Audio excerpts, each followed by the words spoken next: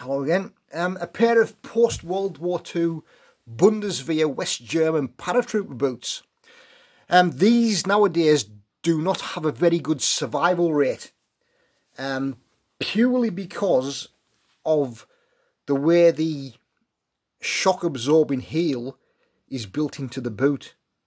And we'll take a look at it in a minute. These are a pair of UK size 7s. Um, they have leather laces.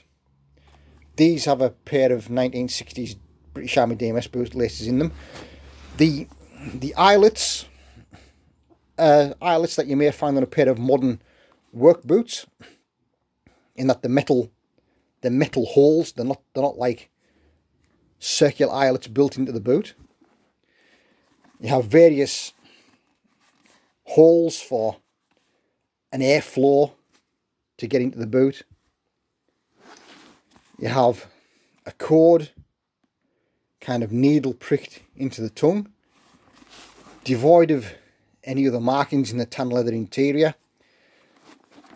Really nice heavy quality leather, which you would think would last forever, but the problem is in the way the sole's put together.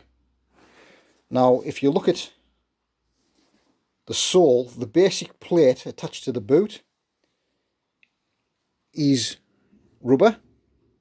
Then you have a one-piece rubber sole, which considering how old the boots are, there's not very much tread being taken off it, and there's a very good reason for that.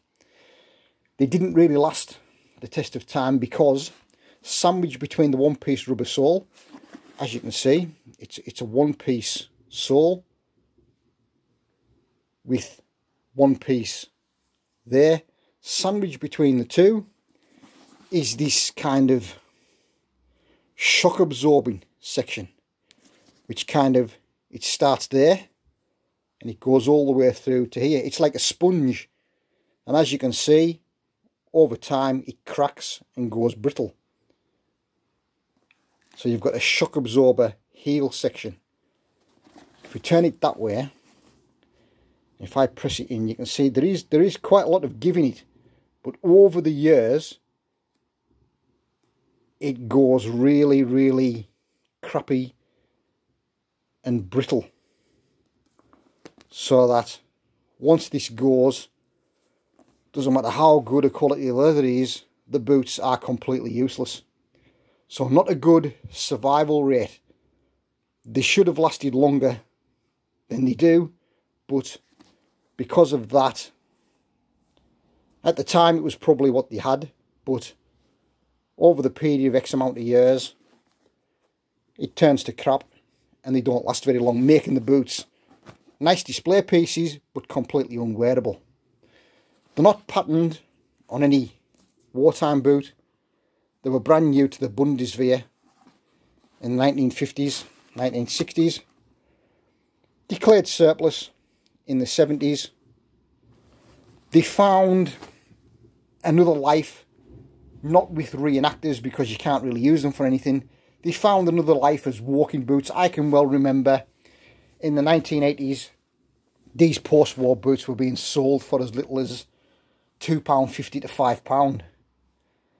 But nowadays, they're not a boot I would suggest you buy to go walking in because the spongy heel is its is its Achilles heel as it were.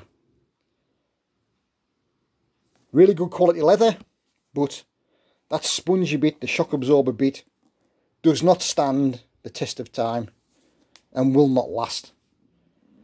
So if you're buying a pair of these to wear out uh, outdoors, personally I would say forget it.